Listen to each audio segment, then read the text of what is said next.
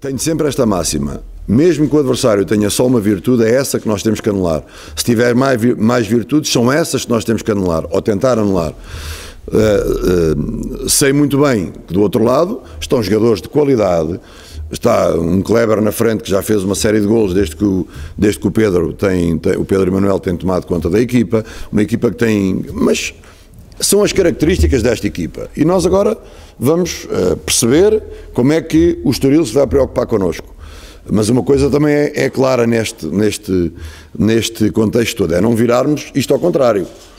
Uh, eu sei o que é que está a pensar o treinador do Estoril, sei o que é estar do outro lado e vir a casa do, do, do líder, neste caso o Benfica, com 65 mil pessoas, uh, e não virar isto ao contrário. Uh, é um jogo difícil para o Estoril, isso tenho também a certeza.